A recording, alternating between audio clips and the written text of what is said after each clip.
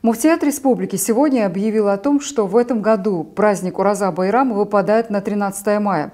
Ранее правительство Дагестана сообщило, что праздничные дни 13-14 мая считаются выходными.